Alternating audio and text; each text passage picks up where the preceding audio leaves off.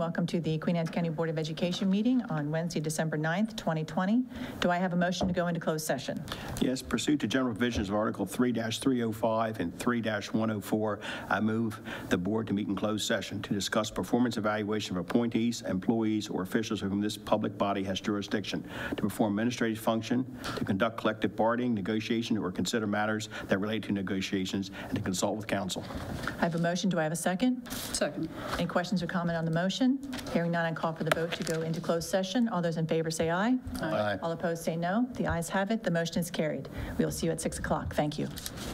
Good evening. Welcome to the Queen Anne's County Board of Education open meeting on Wednesday, December 9th, 2020. I'd like to start this meeting by the Pledge of Allegiance. Everyone, please stand. I pledge allegiance to the flag of the United States of America and to the republic for which it stands, one nation, under God, indivisible, with liberty and justice for all. Thank you all. December meeting, we have our elections uh, for the, uh, for the new board officers. Uh, Do we have a consensus that we will proceed with the board elections by roll call vote? Do I have consensus? Yes. Yes. Yes. Thank you. I would turn this now over to Ms. Pauls, who is our acting executive secretary and superintendent. Thank you.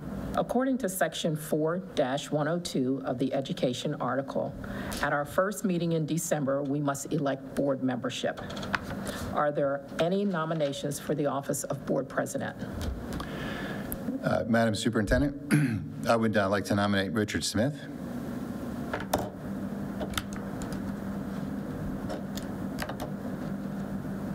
Any other nominations? Okay. For the office of president, do you elect Mr. Richard Smith? Ms. Jackie? Board members, please respond when I call your name. Mr. Schifanelli, Yes. Ms. Harper, Yes. Ms. Bennett, Yes. Ms. Morset, Yes. Mr. Smith. Yes. I will now turn the meeting over to your new board president, Mr. Smith. He will proceed with the election for the office of board vice president. Good evening. For the office of vice president, do I hear for any nominations to be elected? I would like to nominate Mr. Mark Schifanelli for the office of vice president. So moved. Can we have a roll, We don't require a a second, second on that? non-nom- non-nominations, no. More? Any more nominations? Any more nominations? Hearing none? Board members, please respond when I call your name. Ms. Morset, Yes. Ms. Harper, Yes. Mr. Smith, Yes. Ms. Bennett, Yes. Mr. Schifanelli. Yes. I have five in the affirmative. Motion carries. Hey, good evening. Uh, I want to welcome our new board members, Mark and Helen, to our board. Um, And a little bit of, this has been a tough year for us this past year since March with COVID. We've had a lot of challenging times and gone through a lot. Um, But we're getting it, we're getting it down and we're going to move forward. And I appreciate all the support I'm getting from this board. Thank you. Anybody else have any comments? Mr. Schifanelli? Thank you, Mr. uh, Smith, and uh, I I don't speak for Helen, of course, but I know we're both looking forward uh, to moving ahead and uh, guiding the school in the right direction, and we'll give it our all. Thank you. On my part, I'd just like to say that it has been an honor and a privilege to serve on this board, and this is the second time being president. So I, um, I love this county, I love our people, everyone I work with here. So thank you all for allowing me to have been here again. And I would also like to say, uh, along the ship, that I, I'm ready to move forward. I'm honored and I'm humbled and I'm ready to, um, I feel the responsibility of what we have with all of these children and, and parents and uh, teachers to be um, respectful and to, to move us all forward. So thank you very much for your support. Motion to approve the agenda. Okay, uh, anything, Michelle, you've, okay, ready? All is good and welcome. Welcome aboard. Thank you. Okay, we move to approve the agenda for this uh, board meeting. Do I hear a motion? I have a motion to approve the agenda. So moved. All those in favor? Aye. Aye. Okay, next agenda, approval of minutes for November, open meeting for November the 18th and approval for minutes for December the 4th open. I make that motion? Second. All those in favor? Aye. Aye. Okay, we now have to go into recognitions. Uh, Mrs. Pauls?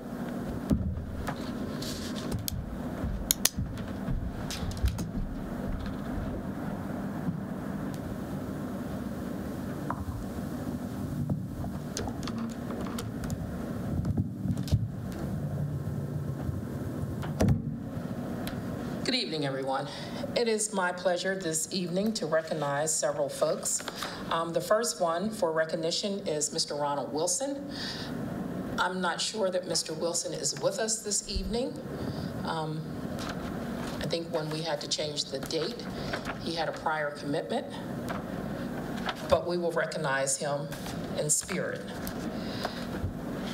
So Mr. Wilson was being recognized tonight for being a valuable employee at Queen Anne's County Public Schools.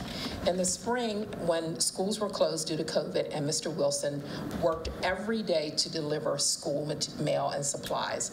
Many of the employees were teleworking, but Ronnie was here every day during the height of the pandemic.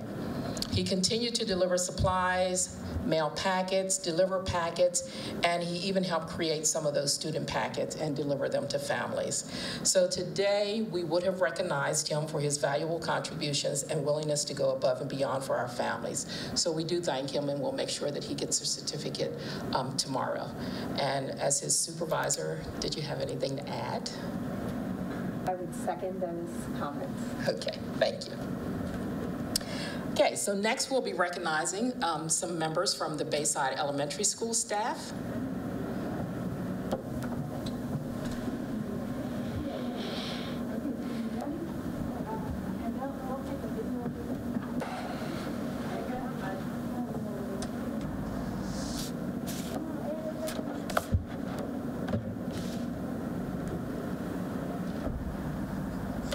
Cute.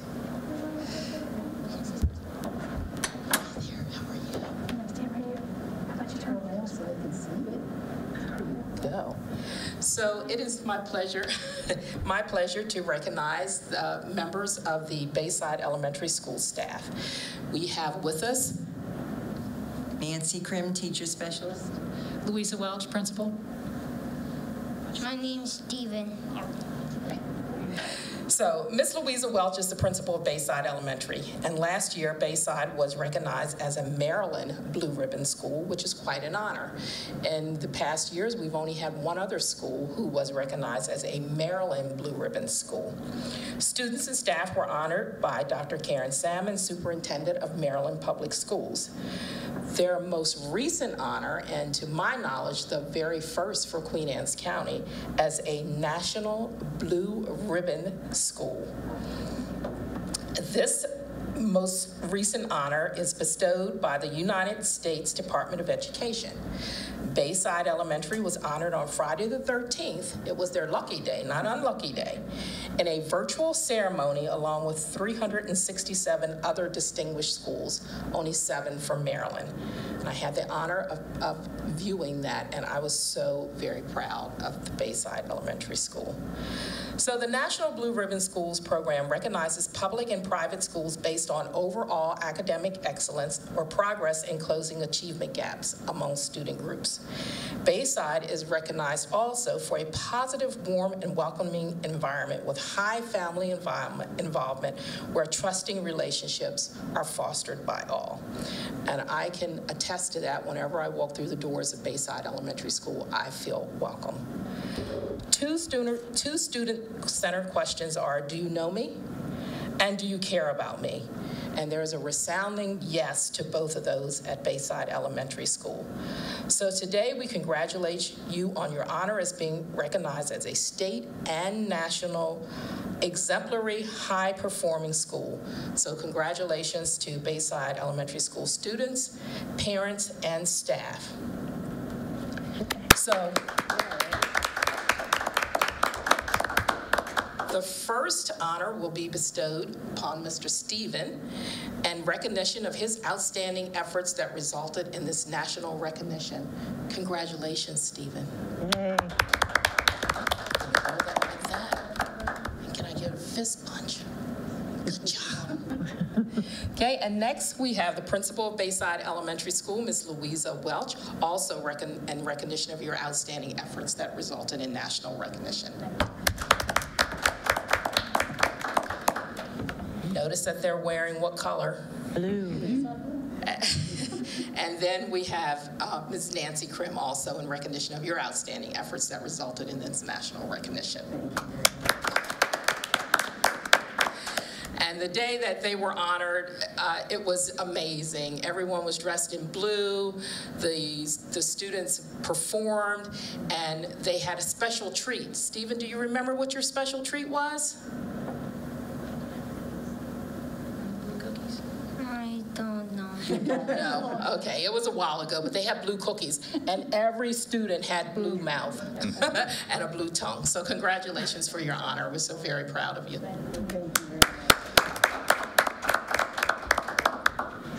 Let me Get a picture first, guys.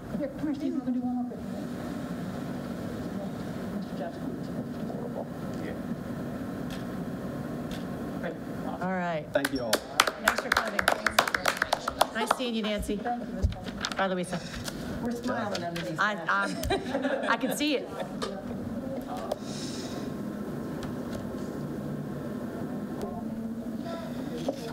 All right, all hail.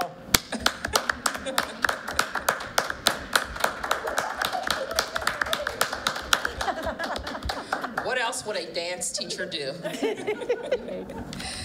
So it was brought to my attention that we had not honored our Teacher of the Year this year. Oh, and I said, we better get it out of the way. So it is my pleasure to honor Mrs. Amber Wright, Queen Anne's County 2020 and 2021 Teacher of the Year.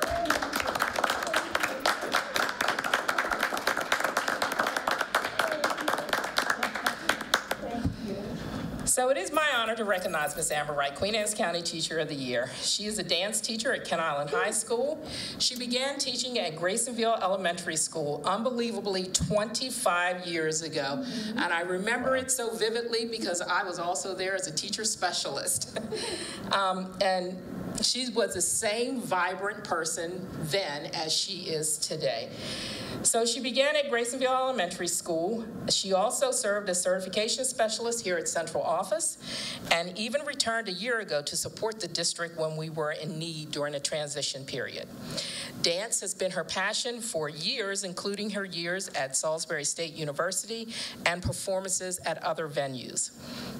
She was nominated by her student, Abby Skaggs, and is extremely grateful to her administrative team and her family for their continued encouragement.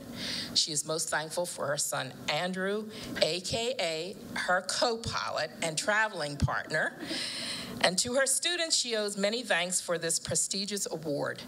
To Mrs. Wright, Queen Anne's County Public Schools owes her dedication to our families and for her excellence in the classroom. So again, congratulations. Wonderful. Queen Anne's County Teacher of the Year, congratulations, Amber Wright, in recognition of being named Queen Anne's County Public School Teacher of the Year, December the 9th, 2020. And if I counted correctly today, the pictures that are on the board, I think you're like the 29th Teacher of the Year. So, con- I think we, I think we have So- two them up there now, don't we? well. We do have two Teachers of the We have Year. two. Miss Pauls and Miss Wright. So congratulations. Turn around, get your little picture. Thank you so much. Wait a minute, wait a minute. Oh, yes. My goodness.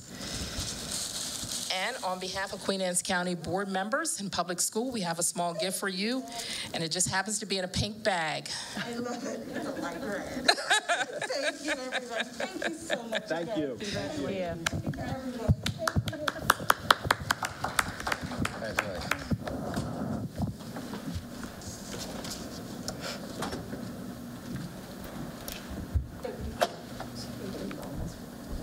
It's okay.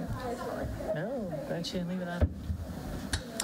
Okay, moving on. Uh, We have board staff involvement, board members.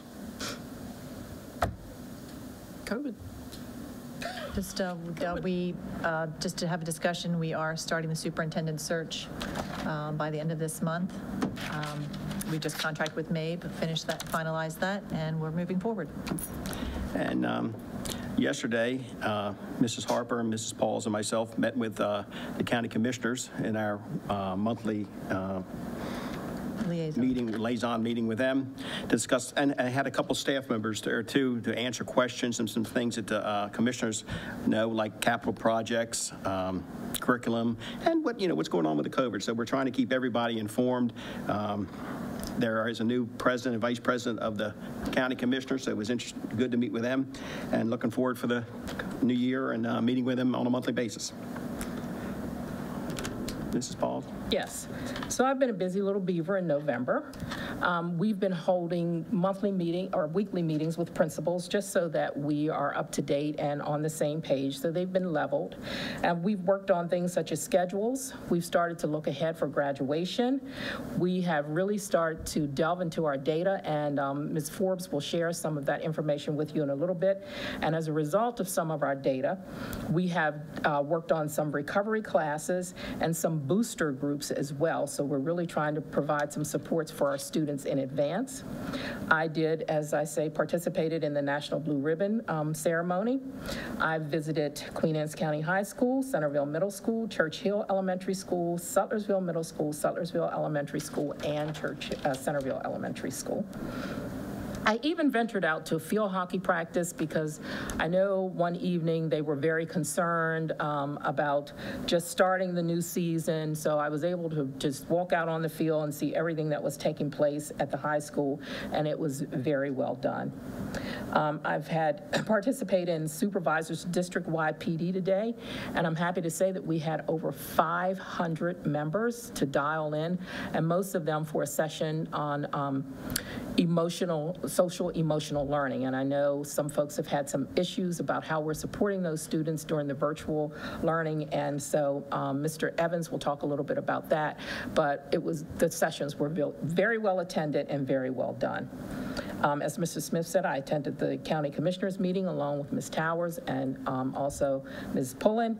And um, today started to work a little bit on evaluations for the curriculum and instruction team because they are a little bit outdated. So been very busy. Hmm, thank you. Our next agenda item is citizen participation. Sir, student board members. I'm sorry, sorry, That's keep me straight. Student board members, I'm sorry. Alexis? Stay near me. I- I'm staying right here.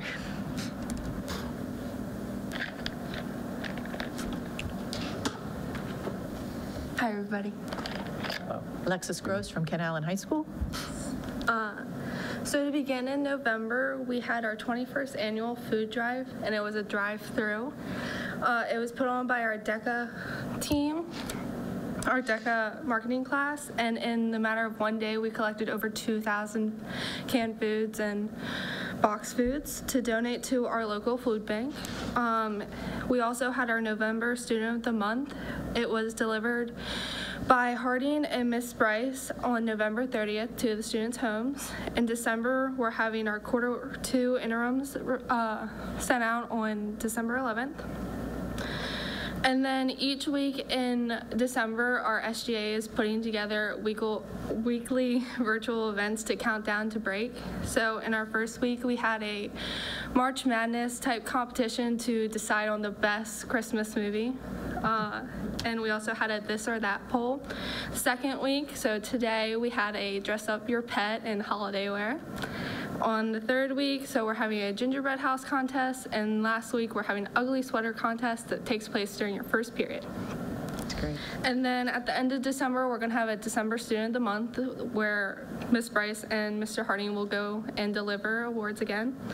And then lastly, just to bring everything together, our admin has been in direct contact with any students and they've made over 150 home visits to help those students in any way possible. And then just the new schedule changes. So SGA has been been in contact with Mr. Schreckengoss to give any student feedback. Thank you. Yeah, Natalie? Natalie Smith.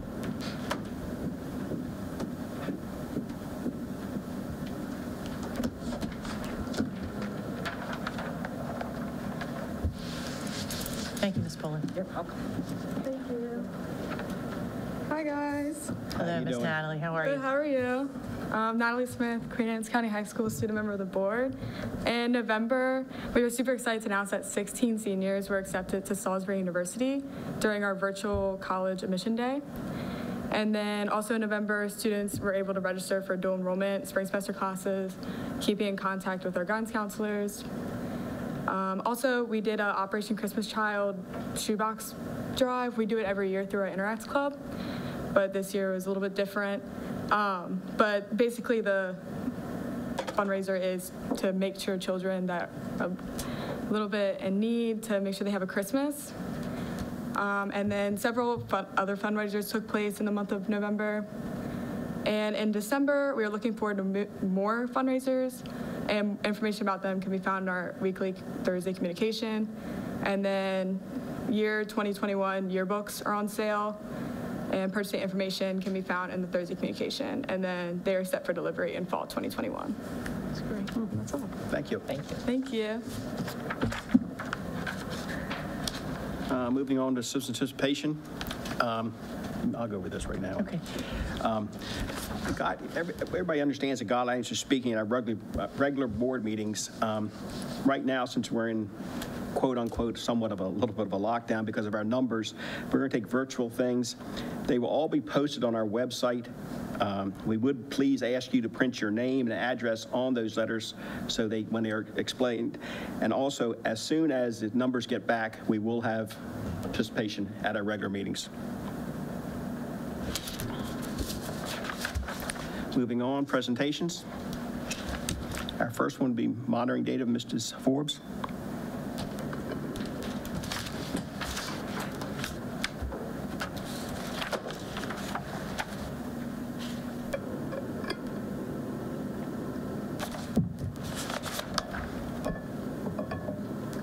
So while Mrs. Forbes is coming in, uh, Ms. Forbes is our supervisor of accountability. And um, in the past years since I've been here, we have always had the superintendents to visit the schools, and they've taken a look at the school improvement plan. Um, We share any data that we might have, and because of COVID, we have not been able to do that. So we've done some in-house measures where we have collected some data, analyzed some data, and Mrs. Forbes will share some of that data with you. Now, um, be prepared that because we have been virtual for most of the, of the time, um, the data is a little bit different than what we're accustomed to, but bear with us as we work through the plan, and um, we have some suggestions for what we've, what we've already um, implemented to ensure that we meet the needs of all of our students. Good evening. Uh, Good evening, President Smith, Ms. Pauls, members of the school board and executive team. My name is Julie Forbes, and I am the Supervisor of Accountability, Assessment, and Data Management. And tonight, I am presenting the Quarter One monitoring data for the 2020-21 school year.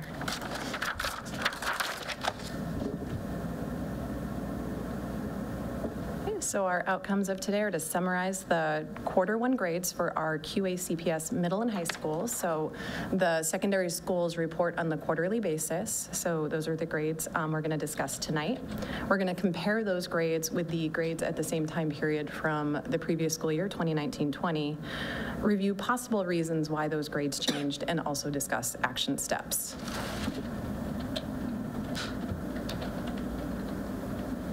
So again, those are reported for middle and high schools. Um, They're, the quarter grades are reported. There's also interim grades that are reported prior to. Uh, The interim grades uh, were reported right around the beginning of October. Um, That first quarter ended October 30th. And those progress reports were issued and sent out um, the quarter one progress reports were issued and recently sent out to families November 2nd through the 6th. And we're actually in the midst right now of the interim reporting for the second quarter now. So we're actually going to have another set of data that we'll be able to pull really shortly to kind of do some progress monitoring. And then the final day of the semester is January 25th. So it's just kind of a way of being able to continually check in on how our students in our secondary schools are doing and report that progress to families.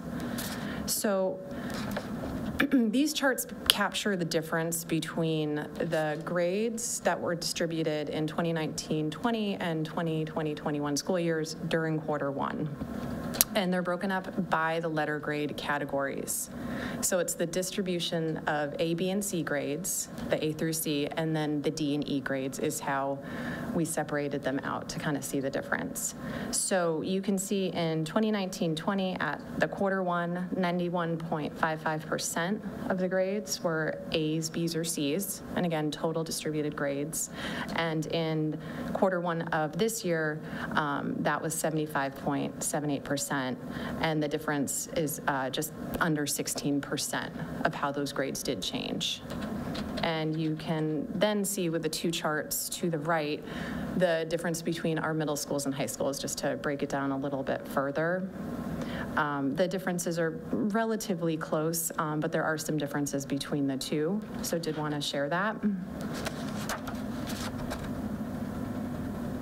And so looking a little more closely at our middle schools, I did a further breakdown by grade level. Um, and again, you know, when we pull these big data sets, we really want to start getting to kind of those those layers and those smaller layers so that we can start talking about action steps um, and the steps that we can take. Um, so again, looking at the grade levels and looking at those percentages of distributed grades, you can see that sixth grade, uh, the students in grade six, the A through C grades that were distributed was about 81.4%. Seventh grade was 76.9, eighth grade 79.6. And so that starts to give our middle schools um, kind of more of an area of focus. So as you can see, the grade level with the highest number of A through C grades was sixth grade, and seventh grade with the lowest for our middle schools. And then a further analysis of the actual courses. These are the basically the top five courses that had the highest number of D and E grades, um, and it was contemporary world history, math grade seven, math grade six, science grade eight, and science grade seven. And again, to start really being able to focus and take a closer look at that data because there's a lot of different ways we can look at it. And similarly for high school, um, you can see the breakdown of those A through C grades by grade level. And the um, as the students get older, those A through C grades increase, and as they are younger, particularly in ninth grade, you can see that's the lowest, uh, the lowest distribution of those A through C grades at 66.4%. And again, looking at the courses with the highest number of issued D and E grades, Algebra 1, biology, geometry, Spanish 2, and government. And there were other courses, but again, this was to kind of focus on those courses with the highest number. Um, of those D and E grades. And the purpose too was to let everyone know how deep we had really delved into the data. So we had really gotten into the numbers, the grades, and also down into the courses. This just gives the administrators of just a little bit more information of where to focus mm-hmm. um, professional development for, for their staff. Absolutely. So We have looked at this data um, a number of times. I have met with all of our site principals and had one-on-one meetings where we've reviewed a much larger data set and, and looked at their individual school data, members of their leadership teams, um, and they've been looking at this data all year as well. So it's not the first time they've seen the data. They are doing this tracking and progress monitoring at the school on a daily basis of monitoring their students and discussing ways to further support their students. So when I talk about why did grades decrease, this is um, this this was gathered from those conversations with the schools, um, with all the information they have at the site. Why do they feel those grades decreased? And um, so some of the items that came up were, was the lack of student engagement. So students who aren't engaged are struggling in their coursework, um, missing assignments, internet connectivity came up, um, and that one, you know, really has layers to it because for some students, um, it's just unavailable. For some students, it's available, but it's inadequate. Um, and so due to the bandwidth, you can only really mm, perhaps run one program at a time. Um, and for some, it could be cost prohibitive. So that internet connectivity is just, there's, again, layers to it. Attendance um, kind of ties right into the student engagement piece. learning gaps from spring 2020. Um, Some of the sites are observing that students are, those, those learning gaps were getting bigger, and so that was contributing. Uh, Another item that came up was the reduction in- in paraprofessional staff. Um, The paraprofessionals are actually in the process of returning, and I believe many have returned. Um, And so that's something that has changed recently, but that was something they reported. Um, Another thing that was reported was that there's just, sometimes there's limited help available for students during the school hours when those synchronous class hours are occurring because families are working. So families are working at the same time and may not be able to, you know, be there one-on-one with their child because they're working as well. Um, The start time at the middle schools was an item that came up because their schedule um, starts it's, it's around between 11 and 12, 11 a.m. and 12 p.m., depending on the site. Um, There was also some schools that reported they're having families opting to move out of the advanced tracks, particularly in mathematics. So students who were in those higher level courses are choosing to um, not be in those courses anymore. Inconsistent attendance at the morning virtual small group sessions. So some of our schools are offering additional small group sessions in the morning, but they're not getting the participation they'd like to see. And then um, lack of participation during the synchronous lessons and discussions. So a student perhaps is logged into the Google Meet, but maybe not engaging, um, and, and that can look a few different ways. And then just overall, too, student difficulty with organizational habits, because students are managing different courses, different assignments, and having to really be organized about all of that um, was something that was reported, again, as reasons that the schools reported that for the students who are struggling, these are, these are things they observed. And then this next slide captures what our schools have been doing um, really since the spring, continuing into the fall, um, and then things they're, they're going to be additional steps they're taking. And I think something important to highlight here is because of the proactive steps our leaders and our instructional teams and our teachers and our staff have been taking, um, I would say the number of Ds and Es probably would have been much higher. And so because of the steps they've been taking, um, you know, and that might not be something we see initially in that data set, but they have that data at the site because they've been doing, they've been logging it, tracking it down to the student level, recording, you know, just documenting the way they're supporting kids and trying to reach out. So uh, the steps that have been happening that are going to continue are weekly student success meetings, um, tracking of student successes and challenges. Again, you have, you know, interdisciplinary teams talking about students and ways to engage them, ways to support them, and, and keeping track of that. Uh, continuing student and family outreach efforts, uh, phone calls, text messages, letters in the mail, emails, um, pretty much any method of communication possible, our schools are engaging in that. Uh, The continued use of translation services to reach families, making sure that we're reaching them um, in the correct language. Uh, Referrals to student services teams and services as needed, so looking at, you know, not just the academics, but the whole student, and are there other academic pieces, um, or are there other resources that they could be connected to? Our pupil personnel workers, the PPWs, have been continuing to make home visits, so um, for some of our students who are unengaged, going to the homes, trying to engage them, have that face-to-face conversation. Um, Some of our sites have been very creative, um, on-site meetings for technology troubleshooting, um, literally meeting people in parking lots so they can socially distance and show them how to log on and how to access different platforms. Um, Parent-teacher conferences, uh, many parent-caregiver sessions on how to use the various systems and platforms. And many of our sites have reported that when families are able to engage in that, they've found um, that to be successful because, you know, parents, caregivers, students can ask questions um, so that they can successfully use those systems. Continuing um, additional support and tutoring, and it looks different across our schools. For some schools, it's before class starts, some it's after, some are offering things on Saturdays. So continuing those things, whether they're able to do it in person or virtually. Um, The counseling staff, our school counselors have, um, you know, been very, very involved, monitoring engagement, conducting outreach, again, really trying to um, touch those students and support them, continuing the distribution of hotspots, and then, of course, professional development for teachers on teaching in the virtual environment has been ongoing. So some of the additional steps that schools have been taking is expanding those translation services and tutoring services. And, you know, some of our schools, again, coming up with creative ideas of, you know, looking at your staff, even your world language teachers, to help with some of the translation needs and, and reaching families and students. Um, They're taking a look at student workload and assignments and seeing if there's support for students there. Uh, Some of our schools are creating plans for positive incentives and recognitions, again, really trying to think outside of the box to engage kids um, and and get them excited and involved. Um, Continuing just to message families, sharing more tips, strategies to support students. Uh, Some of our schools are evaluating their school schedules and looking at those, um, those times. Um, Our high schools are looking at focused support for our seniors that are in danger of failing, and also just additional support for all struggling students. And again, really trying to think proactively about what else um, can be done.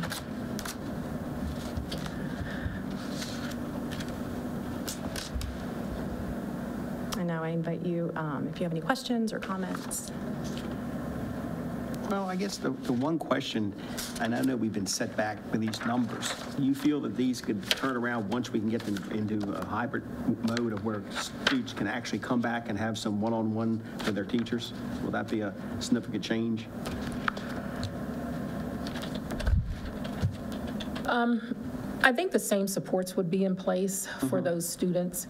What we're finding out is the biggest issue is those students that are not, they may log on, but then they leave, and then they don't do any of the classwork. So for those students that remain virtual, that would still be an issue for them. Of course, for those students that are in person, we would be able to, to work on that um, because they would be with us. So that's the dilemma that we're facing, and we're not quite sure that students understand that in this, in the spring, it was a pass-fail. And until they've started to see grades now, they realize that they are actually being graded. So we have seen a few more students um, log on. Um, But as um, I believe it was Alexis said, you know, the um, staff at Kent Island High School, they made 158 home visits. I mean, that's amazing that the administration has stepped out to really um, work with those students. And I know Queen Anne's, we didn't have that data here, but I was at the school a couple weeks ago, and they were actually making phone calls to students. And the students were elsewhere, some of them weren't home, and so the message was, you need to, you need to get to work. So um, hypothetically, we would probably say yes, but again, it would depend on which students and what the reason was that they were not being successful. Certainly, most of them are not being successful because the supports are not there. It's just that they, um, some of them, with the, the shift in the um, schedules, high schools, especially not starting until 10 o'clock, they're sleeping in. Some of them are working. So there's, a there's um, a number of factors, but um, There's also the connectivity issue in North County. It There- keeps being, it's it's brought up, you know, repeatedly, that there's still that connectivity issue. And we brought this up in front of the county commissioners, uh, Mr. Smith and I, about how they were supposed to bring FiOS down to help North County, and, you know, it it stalled. Yeah, and I've had a few parents to reach out, and, and we troubleshoot together if there is an issue where their child just can't get on, and there is someone to support them or be able to, to take them to a location where they would be able to, to get internet services. So, you know, we don't just say, no, you're in, you're in a location where connectivity is not good. We troubleshoot and provide supports for them. Because I can see in the lower grades where parents are there, where their, where children cannot be left alone. But when you start getting the older children, it, must be very hard for them to understand they need to, I mean, they need to be in school all day. And, you know, when they're not in school, they're in a different surrounding, um, home, or like you said, possibly working, um, and not getting support. And people have to understand that we're back to the real world now, not pass-fail, that, you know, we're working on the standards that they need to meet to move on. And, and um, I, I, I- you know, I, I'm- I don't know, it's a hard thing to do virtually, I'm sure. It is, but we also have to realize that even though students are in high school, they still need parent support. Mm-hmm. So I've had parents say to me, you know, I overslept and so did my child. And so again, it's, it's getting them into a routine, which is why the high school has really started to look at a schedule, which we won't get into it, into a lot of detail. And hopefully they'll be able to come and explain those schedules. And it's, it's not very appealing right now, especially to students, because the schedule for virtual would also mirror the schedule for hybrid. So it would never change no matter what mode that we transition into. But what it does is it gets the high school student up earlier because that's what they're accustomed to. And it keeps them in a synchronous learning mode where the teacher is actually teaching them four classes a day. So it mirrors a little bit more of what they are accustomed to. Um, the, the periods are a little bit longer, but it's, they're not as long as they would be if they weren't a full day. So we're, um, we're gathering feedback on that and we're continuing to, um, to really analyze and um, make the decision to, to move forward. But we really think that it's, it's a good um, schedule for our high school students and it would help them tremendously. I I know that's coming from your leadership, it's also being bought in by our principals, our high schools, and they're, I mean, understanding. Oh, absolutely. I mean, I know we came up with this model back, it was all new to us in March. Mm-hmm. Bam, it hits us, we do this. We've learned a lot, and we're allowing, you know, these principals to really um, take the bull by the horns from what I say. Well, we have amazing principals in this county, but our two high school principals were the ones who came to me and said, we need to do something with the schedule. So they really are leading, um, you know, they're leading the charge with this, and they feel adamantly that this will help to meet the needs. We've also gone back and we've identified um, seniors who are in jeopardy, and as soon as we can get students back in school, um, we have a plan, recovery classes for those students. So we want to make sure that every student has every opportunity possible to be successful. Um, And we did do a survey. Um, Julie had sent out a survey. And when parents were asked the question, what has gone well for their child? um, the, the, the feedback was pretty good um, regarding Google Meet. Um, you know, we had real positive responses with that, the use of the program Schoology, synchronous learning. So we are getting some good feedback that the virtual learning is working for those students that are engaged um, in that learning. So, um, you know, we have some negatives, and we also have lots of positives. Um, Parents, uh, students have become accustomed to virtual learning. Students are thriving in a structured virtual environment. Um, Parents are playing an active role.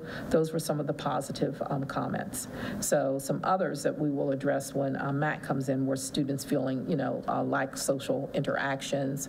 So you're always going to have a balance. Well, Any negatives that we can work on? to- I mean, anything that can be worked on to? Well, students are not engaging in Google Meets, and so um, getting students to turn on cameras, uh, principals are having, um, you know, in their, the syllabi that go out, that students need to be engaged for the entire time in order to get, um, you know, credit for, for the class participation that day, because they're just logging in and then they're going back out, because the attendance policy kind of says that as long as they log in. But we really need them to be engaged for the full time. Once they log in, they're in. But how do, is there any way to monitor that they're still there or not? real- Yeah, you can see when they check out, when they leave. Okay, so there is ways that that- that, uh, teachers can keep it. Thank you. This, this also will work, I guess, if, if we get back to the hybrid, but if we had a snow day or switch back and forth, if you're on the same frame, then it would be kind of, you're virtual or you're hybrid in, in school. Yeah, and so the schedule wouldn't change for Wouldn't high school change all. students. It would be the same schedule, they would heal- still have the same amount of uh, instruction. And we talked a little bit about that today with principals, with Ms. um, Pullen, talking about what the, uh, the inclement weather would look like, so. Mrs. Pauls, are you saying that, that when they check in for the class, say, could they leave the computer though, and they still look like they're in the class if they don't have a camera? If they don't have their camera on. So if I'm in a meeting and um, I need to go to the bathroom or someone walks in the office, Jackie has a message for me, I can turn my camera off. But they can still see whether I'm in the meeting or not. And then I turn it back on. So some kids don't turn their camera on and some of them log on and then log off. And, and I'd say too, I think some of our teachers are doing some really creative strategies to address some of those pieces. So um, in Google Meet, they have the ability to do polls. Sometimes they'll ask interactive questions, just like you would in a classroom. So um, I think they're they're aware and they've been um, looking and coming up with some really creative strategies to make sure, even if the camera's off as well, to make sure the students participating. I know in my son's classes, to get credit for attendance, you have to answer an attendance question. To- It introduces you, when you log on, there's your question for the day. That's your attendance. If you didn't answer it, you're not marked as present. Now, that also gives the student, if they can't get on during class because they're working or there's no connectivity, they can answer it later that night and get credit for attendance for the class. So they're, they're also using that little tool. So they have to be interactive at least a little bit to get credit for being there. So on your slide seven, uh, missing assignments are in the ability to help these kids recover grades or save their grades before the end, are assignments encourage, are we encouraging teachers to keep these assignments open for completion or so is there an Yes. assignment recovery? Ye- Yes, we are. They- I mean, there is a length of time, but we have been working with um, teachers. If parents say that, you know, they've been late with an assignment, um, then most are given the opportunity to turn those assignments in. So um, we've been providing lots of opportunities for students to, to actually um, change their grades, move their grades. I'm just thinking with Christmas break, if parents are home, that could be an opportunity for them to sit down and really start catching up on things students have been not prioritizing or falling behind on. And we've had some issues too, where um, there's been some concerns about the amount of work, the workload that students are getting. And as soon as we receive that information, if it comes to me, it's sent right to the schools. And the um, principal or the academic dean works with the teachers on being able to manage the workload and, um, you know, what's, what's appropriate for students of that age. So, um, But I mean, the other thing is, when, in school, you're there, what, six, six and a half hours of instructional time? I mean, eight to two or whatever. But, you know, that, that same time has to be dedicated at home, too. And if they're, you know, I mean, you take, you start taking a half an hour here or an hour there, it, I think it really affects, you know, your ability to stay, stay, stay up on it. That's what the new schedule addresses. It gives them longer periods of time. Um, We were a little bit out of compliance with the number of hours for high school students, so we've beefed it up. Um, Now, they, for synchronous learning, it's um, usually 3.5, but we're up to four. Okay. Um, And if we didn't have to allow for the transition time for buses to take students home, and um, transition time, we have to have 15 minutes built in between the change of classes. So, you know, it, there are some disadvantages as well, too, because we have to, uh, you know, accommodate the, the transitions and the movement. So it's just unfortunately the world that we live in. Um, Thank So, you. Ms. Forbes or Ms. Pauls, given the current and future steps that you've outlined, are we expecting an uptick in grades from what they've dropped recently, come January 25th or end of the semester? Yes, yes, we are. We are. Okay, and last question, are there schools that are ready to go hybrid? Um, Just coming into this, and I know it's not particularly on the subject for tonight, but are there schools that could be able to go hybrid sooner rather than later, say in January? So that's what we were really looking at. And today, in meeting with principals, we were talking about, okay, which small groups could we begin to bring back? The problem is the COVID has really attacked our staff.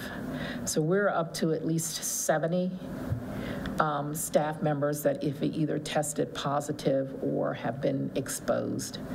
And when we start to bring children back, students back, we just have to make sure that we have support uh, for them in the classroom because there's no sense in bringing them back if we have um, teachers that are, that are still out. So that's the problem that, that we are really facing. I mean, we still have a few students coming in here and there who just don't function well with virtual learning. Um, And we've tried to, to, you know, accommodate them and meet their needs.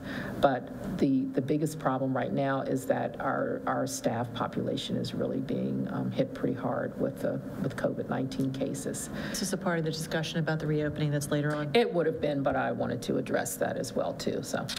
Well, thank you for that. Any other questions? Thank you. Thank you. Thank you, Ms. Forbes.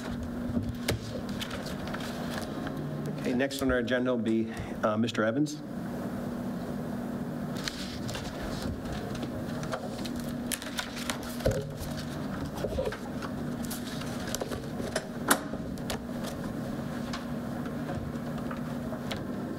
So next, we have Mr. Matt Evans, um, Supervisor of Student Services.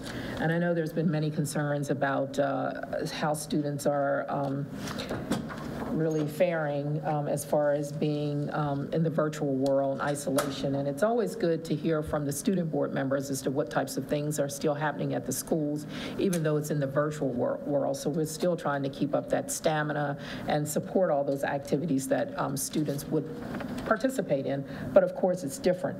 And on this survey that um, Ms. Forbes uh, had sent to parents, one question was, my child or children have adjusted socially and emotionally to virtual learning, and it was the lowest score that we had. It was a little over 60. So it was, it's something that we have been paying close attention to, and as I stated earlier, we had professional development with over 500 employees logged in today for this session. Um, Principals, even secretaries, school nurses, um, counselors, just everyone that we could, um, could possibly be engaged. So um, everyone is paying attention to the needs of the students, so. Good evening, President Smith, Ms. Pauls, members of the board, executive team. My name's Matt Evans, Supervisor of Student Services here in Queens County Public Schools. So my first presentation, as Ms. Pauls said, is on social and emotional learning.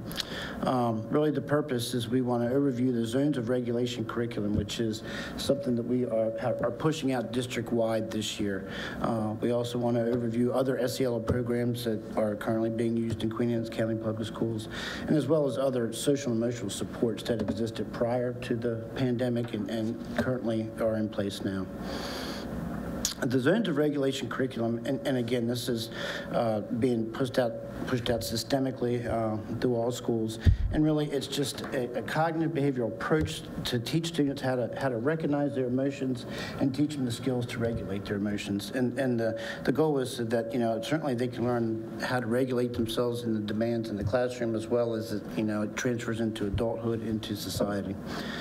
Um, some of the basic ways that, that we are, are teaching the vocabulary and, and the curriculum is um, the actual zones are colors, and, and there's not a good zone or a bad zone. You can be in between zones, um, but you can see just some basic descriptions of what it is to be in the blue zone, green zone, yellow, and red.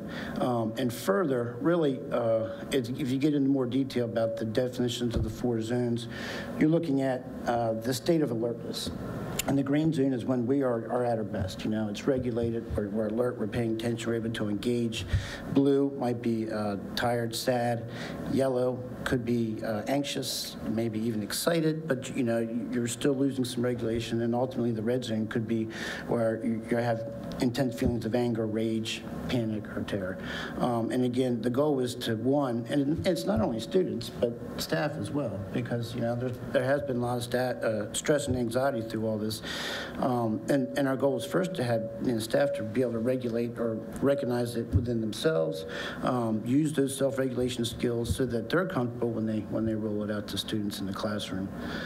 Um, and again, some of the um, outcomes we're looking for besides student progress and engagement in the classroom, but things that, transfer into adulthood are, you know, persisting on complex long-term projects, uh, problem solving to achieve goals, delaying gratification, being able to save money to, uh, to, to, buy a vehicle, uh, and just self-monitoring and, and, and, rewarding yourself when you achieve goals, as well as, uh, you know, kind of regulating our behavior going forward. Uh, just a timeline of, of how this is being rolled out this year. The training, we, so every uh, school sent at least one person for a training in August in the zones of regulation. Um, those points of contact, as we're calling them, ultimately then uh, formed an SEL team within our school and, and are currently providing training for staff. And they did initial training in, in September.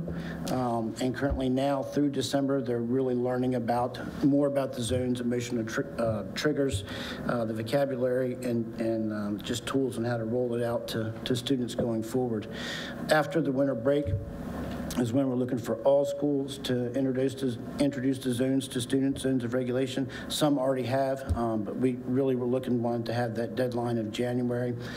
Um, and then going forward, you know, schools would implement at a pace appropriate for each school. Some some schools are a little ahead of others, and and uh, and that's that that happens. Uh, but we do certainly want to implement it implemented district wide. Um, throughout the, the spring semester. And then over the summer, we definitely want to review the data. We're in the process of data collection now, uh, look at maybe uh, some kinks that happened and, and look to plan for the next year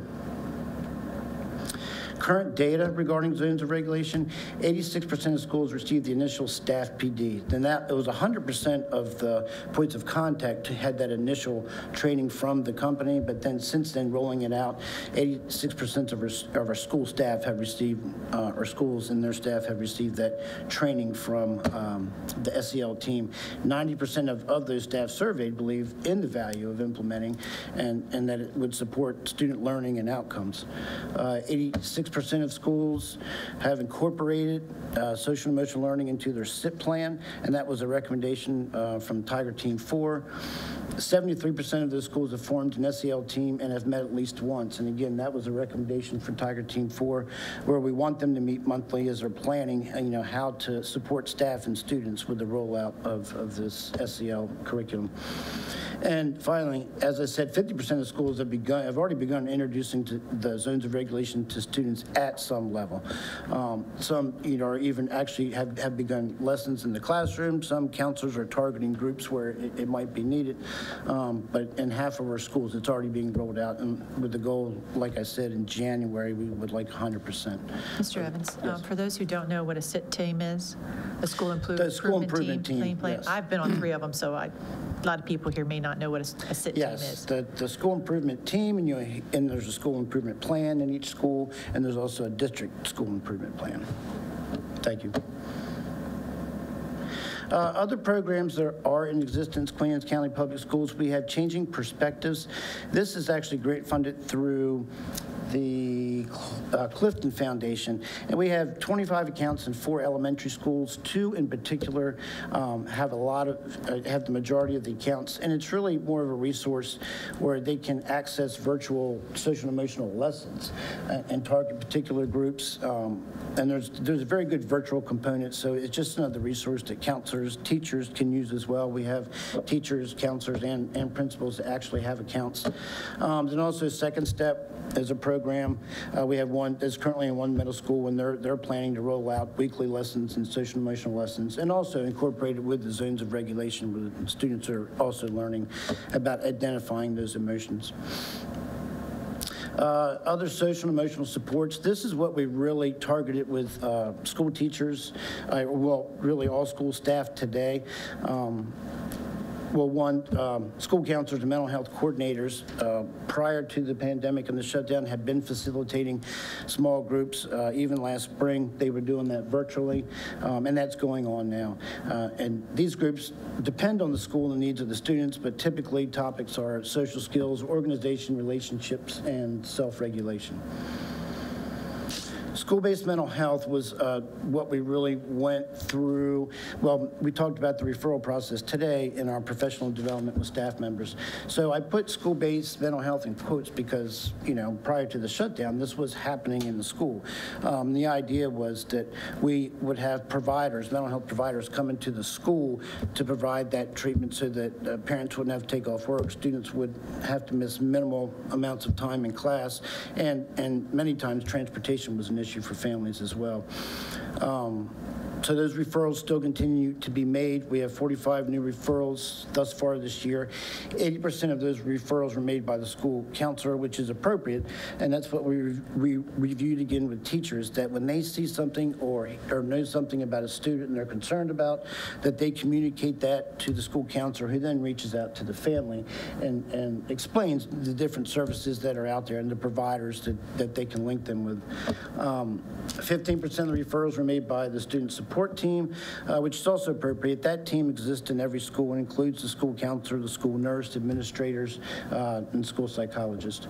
And then you see 5% were made due a parent due to a parent request, and that's um, more than likely a parent was talking with the counselor and said, I need something for my child, and the counselor was able to say, we can make a mental health referral and, and link you accordingly. So uh, in conclusion, uh, teachers that uh, are, um, have already started introducing this to students have found that the zones of regulation check-in is helpful, allows them to assist specific students toward positive outcomes, allows them to know students that might not be, that might be in the red zone and may need something a little extra and they may need, they may check in with them outside of the synchronous learning environment. Uh, School counselors and, and uh, have reported increased awareness in students being able to recognize their, their feelings and how that, if when they're in a certain zone, how that affects them, their behavior and achievement in class. Um, They also uh, report extremely helping, helpful in assisting students recognize, you know, things that, that are out of their control and things that are in their control so they can uh, move forward accordingly. And finally, the mental health uh, coordinators that are, are having small groups have, have reported progress in social, socialization among students who are participating in these virtual groups. That being said, are there questions? I have a question, Mr. Evans. Yes. Thank you for this. Sure. Um, So what would that look like? I'm having a hard time understanding the zones of regulation. So if I'm a teacher and I'm teaching virtually, um, what am I looking for? What, and, Closer to your mic. I'm sorry. I don't know if you heard me because you I- were I there, did, but, I did. okay. So how would that look like if I'm a teacher and I'm teaching virtually and I've been taught these zones of regulation and we were saying we're rolling this out in January? And you said it may or may not go within that program, but is that, are you asking, like, what would that look like? What would I do if I? So, so initially, Concerned about a teachers would start with, with teaching the vocabulary to students, actually introducing the zones, the red zone, yellow zone, getting them to recognize what it means. When you're feeling this way, you might be in this zone, what it means to be in the red zone. Uh, And from there, they, there's lessons that go, that are in the curriculum that, that would go along. And really, we're looking, the goal would be two, two 20-minute lessons per week where you're kind of addressing those zones and different uh, self-regulation skills students can use to move them from maybe being in the red zone to more in the yellow. So the teacher, no one is making any assumptions or, or thinking this child might be blue or this child might be red. That's correct. They're making their own self, That's correct. And that's, and that's a big part of it for students to be able to, and, and staff as well, to be able to recognize, you know, their emotions and what zone they're in. And then the goal is to teach them the skills to, to regulate so that they're making appropriate decisions and understand, hey, maybe I shouldn't, you know, uh, make this decision right now while I'm in the red zone. thank you. Sure. Any other questions? Thank you. Thank you. Okay, moving on. Um, You're up, he's up again. So yes, I'm Enrollment data. Give us some good news. So I, I, I did do a brief uh, presentation on this in November, I believe it was. um, But certainly, uh, it's good to go through again because it's, student enrollment is very different this year. Uh, So the, the purpose is to overview- the enrollment that was reported to the state as of new, um, I'm sorry, September 30th, and that, that, that data is official as of now.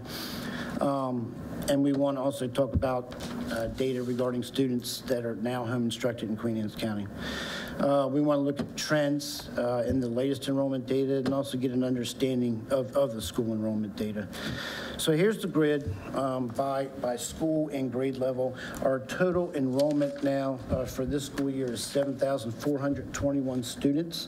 I will tell you that is down 369 students from last school year, which is significant. We had um, been maintaining more or less a a steady enrollment, but this is a significant decrease. Here you can see in the uh, graph here, uh, you know, there's been some fluctuation over the years, but it's very clear this year there was a significant decrease, and this is over a 10-year period. And that data is consistent with other counties as well, too. They're all the same percentage, Not the same percentage, but th- their enrollment is down as well. right? Across the state. Yes. Uh, Looking at the fall enrollment by school, uh, we have totals, I, I will say that really, the, the, the biggest decrease in enrollment that we've seen has been in the elementary schools. Um, And we can say that every elementary school in the county did uh, decrease in their student enrollment. And again, here's a, a graph that, that shows that in every single school, and in some fairly significantly. The middle school enrollment um, was not as much of a decrease. If you look at Matapeake Middle School, they actually increased their enrollment. Uh, That is due to, they had a very small eighth grade class last year, outgoing eighth grade class, and and a particularly large incoming sixth grade class. So that kind of offset it as compared to the enrollment from last year. But you can see the other three middle schools did have lower enrollments uh, as compared to last year. Anne's County High School's up. Ju- Just as looking at this graph, to me, uh, when you say our elementary schools are down, the- the- as the highest, do you think that's something to do with uh, daycare? Uh, Possibly, sure. Uh, um, I mean, parents, you know, I mean, where these other middle and high school pretty much can be at their own and stuff like that, but when you got elementary, Yes. um, there's an issue of, you know, I've got to go to work. Your schools aren't open. Not that we're supposed to be daycare centers, but we're not open. We then have to send our school kids to somewhere else because a lot of people in this society today don't have the option not to come to work. And, and you're right, there's, there's a lot of, uh, you know, households where both parents work and, and daycare is very difficult to get right now, so it could very well be. Um, And I'll, I'll point out also, well, let me finish with the high school enrollment. Um, You can see that Kent Island had been increasing their enrollment up until this year, and then there was definitely the drop-off. Um, Queen Anne's County's enrollment at high school has been um, continually increasing, um, and they're, they have an increase this year as well, but also they, similar to Matapeake Middle, they had a, a large outgoing 12th grade class. Um, They kind of offset that data. Well, they had a, a large ninth grade class coming in. Yes. Uh, Ethnicity enrollment, and this is new as compared to what was uh, uh, presented last month. Um, Really of note, uh, the black, black students uh, have decreased slightly in the past five years. There's been um, a steady decrease in Caucasian white students in the past five years. Uh, Multi-race students has seen a a slight increase, and Hispanic students has seen a steady increase in the past five years. Moving on to home instruction. This is really the significant data, Um, and typically, we don't always report this in the student enrollment, but we, we certainly are this year because we, we did have a lot of families that, that transferred their students to home, home instruction or homeschooling. Um, And that, that number is up by 319, I believe, 320 students as compared to how many we had that were home instructed the previous year. So we're, there's 329 students last year, now we have 649 students for this school year. Um, Looking at that data, and this is, again, looking back at elementary, if you see kindergarten through second grade, that is where we saw the biggest jump in the transfer of students to home instruction. Um, And some of these kindergartners might have been um, already enrolled, and then ultimately, they, they changed their mind and transferred them to home instruction. But uh, I think elementary as a whole, again, represents the majority of this, but you really see uh, the, the difference there from kindergarten to second grade. In conclusion, uh, again, our total enrollment decreased by 369 students.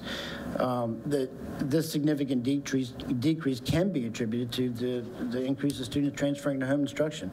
We had families that transferred to private schools as well, but really the, this decrease in enrollment can be attributed to the transfer to home instruction.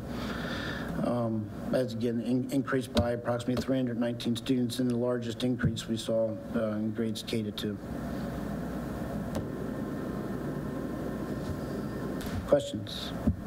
I have one for this, uh, Mr. Evans, for the students who are are doing home instruction, I assume they were telling why they were leaving. Um, Do you anticipate getting most of these back when we, So when they notify us that they're, they're doing home instruction, they don't necessarily always give us a reason. They are required to say if they're going to monitor their, or if they're doing their own program, which we would monitor twice a year, or they might register with a uh, umbrella group that's recognized by MSDE, and then that group just lets us know if they're in compliance or not. So there's not really a spot on the form. It is a state form where they say why they're doing it. Some uh, sometimes did.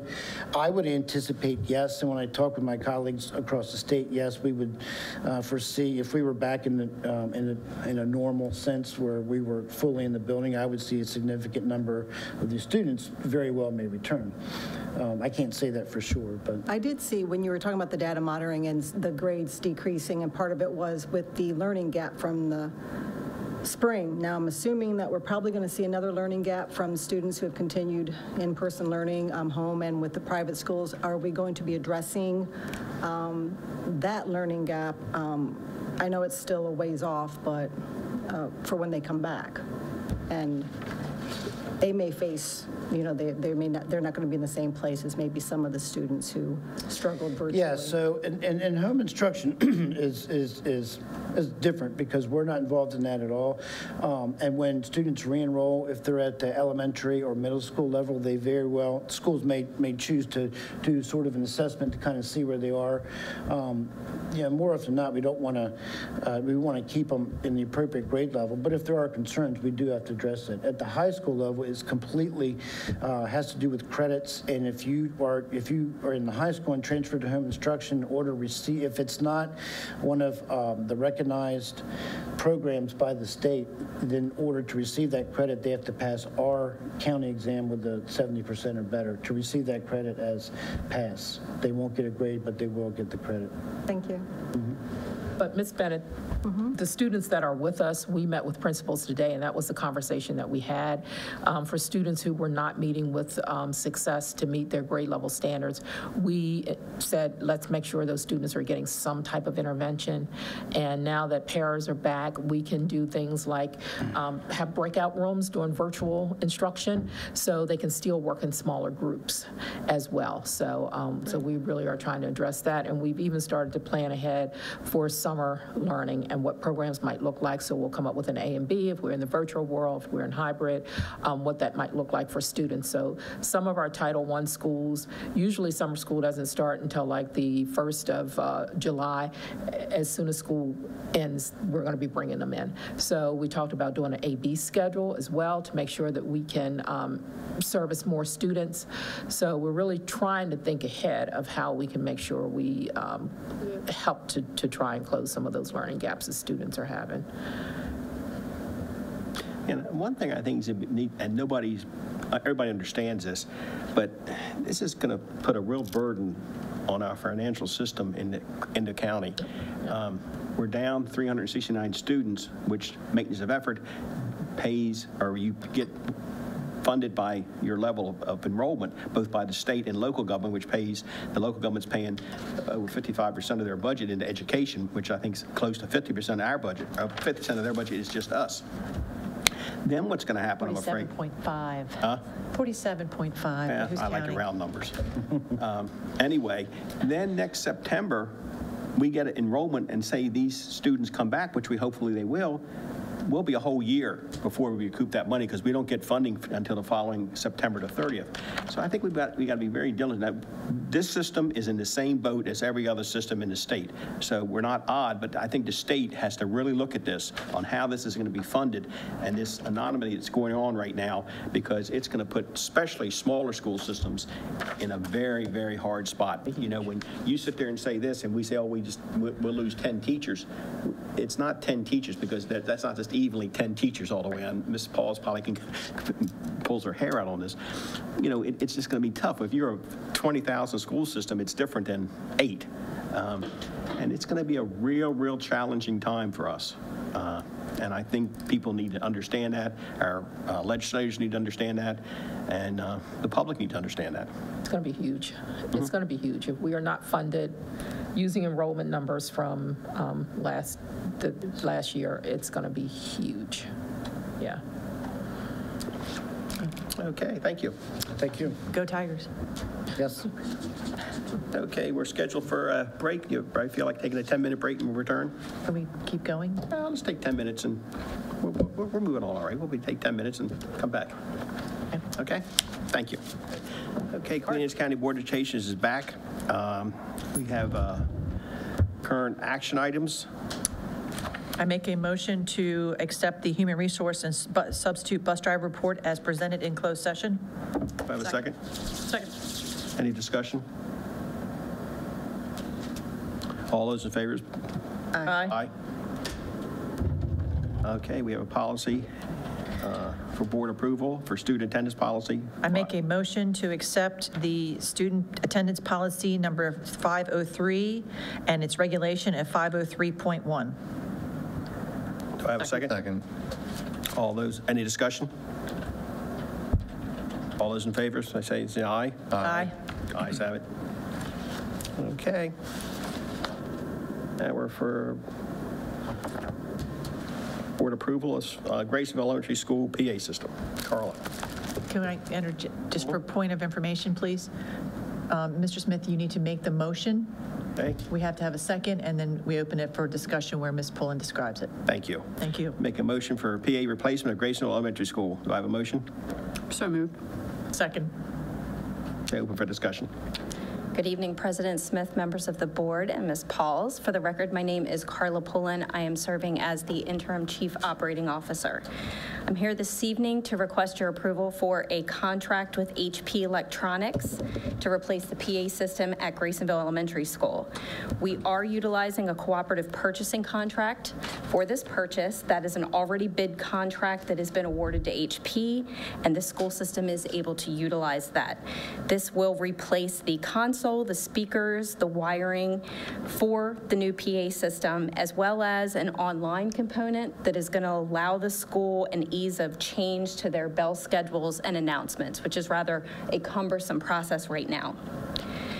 We are utilizing the fiscal year 2021 Aging School Program funds in the amount of $59,000. This is a program of funding through the state of Maryland.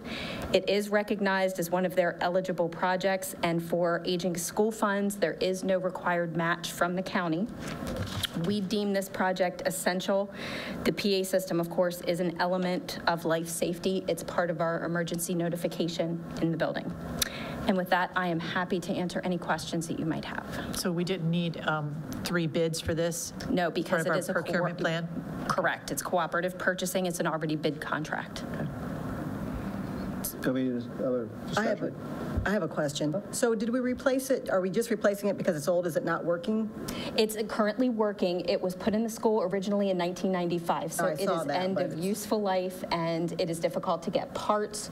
So we want to be proactive and make sure that we are replacing it at this time before we would have some sort of system failure. What happens to the old system? The old system at this point is not usable, so it would just be removed. On the proposal? Yes. Is this the only thing that we got? Was there was no breakdown of monies at how the 59,000 was being spent? I just see units of quantities, you know, ones, twos, four, 1,000, is there? Yes, that's any- just the part pieces and numbers, not necessarily a breakdown of the, the cost for each part. Do they not, do they not give that? I mean- Typically, no, because this is a cooperative contract, so those parts are already spelled out under that bid contract. If that's something that you're interested in seeing in the future, we can surely add that. That would be great, thank Okay. you. You're welcome. A part of the motion, sir, point of information. Please make sure that you say the name of the company and the amount of money that is being budgeted for. Mm-hmm. Thank you. Okay, we are going to approve the contract for HP Electronics and replace a PA system for Grayson Elementary School for the physical impact of $59,000 From the Aging School from the Program. Aging- from the Aging School Fund for FY 2021. Any other discussion? All those in favor say aye. Aye. Pass, ayes have it. Thank you.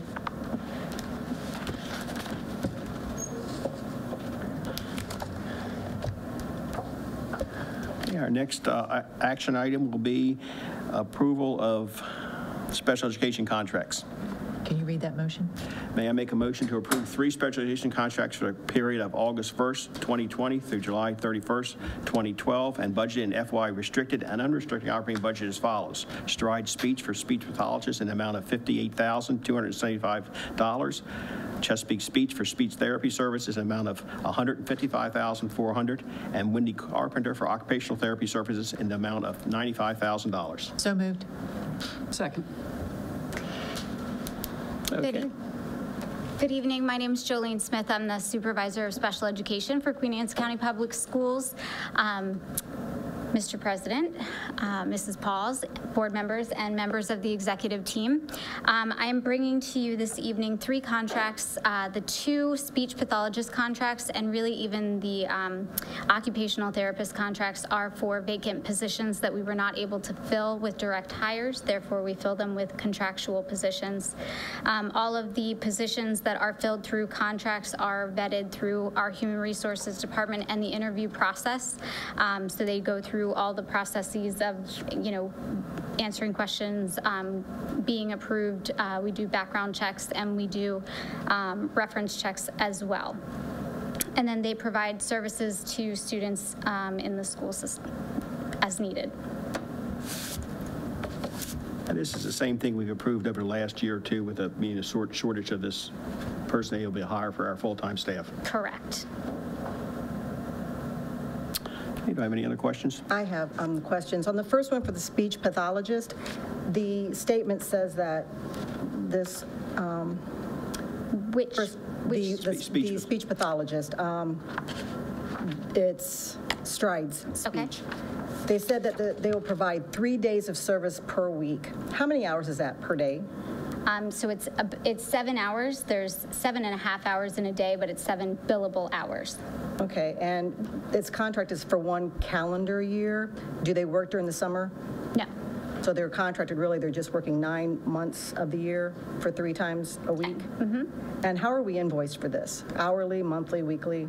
The invoices are hourly, um, and actually depend, if, if we were also speaking of the other contract, it's per school, per student. Um, Well, this is and- just one school, though, right? Correct. Okay. If- But the other, um, if you were going to ask the same question for the, the second contract as well, um, they're per school, per student, um, per provider.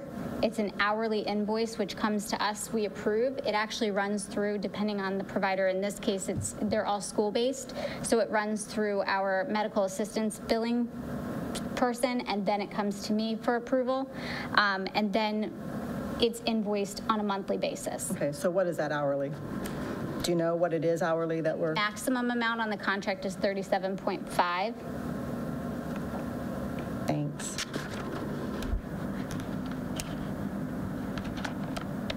Okay, any other questions? Hearing none, Stride Speech Pathologist, Stride Speech providing three-day service per week for 2020-21 school year, covering one school, contract period August 1st, 20. Mhm. I'm going to read one, each one separately. No, just go ahead and do that one. Just do it one mm-hmm. time? Yes. And not going to go each one mm-hmm. separately? No. Okay, let's go to the next one then. Just- Just go ahead and read that one again. This whole thing with mm-hmm. all three of them again? Yes. May I have a motion to approve three special education contracts? Now, why are we doing, let me just ask the procedures, so I understand this. Why are we doing three if we're just going to do one at a time? We don't have to do one at a time. You've already made the motion. They were all three in the motion for Okay, the well, amounts of money, and saying the amounts of money. But then I want to make sure each board member has a chance to ask a question on each one of them. We've just Okay. asked on the first one. That's what this is now. Okay, well, that's, they can do that right now. I- And I'm sorry, I do have one more question. I'm sorry about that. So the most they can get, so three days a week, one person, seven hours a day for three days for nine months, For 10 months. for the 10 months. Just, to- okay. So that, just 58,000, do they use all of that or that's just what we've allotted and they usually, because that's not, That's what we've allocated. So in the event that, say, perhaps she was out for a day, she would not be paid for that day. She's only paid for the hours that she's actually providing services. okay, thank you. So to make it clear to myself, and I hope the other board members are clear, we're, we're looking at Strides, Wendy Carpenter, and uh, Chesapeake Speech. So if there's any questions on any three of those that you're reviewing, if we're going to make a motion to lump them all together, then I'd like to make sure everybody understands that, and we're asked questions separately on each one of them. Um, And on there, it does show where the uh, physical impact is, and it's grant funded or whatever. Any questions, any questions by the board? No.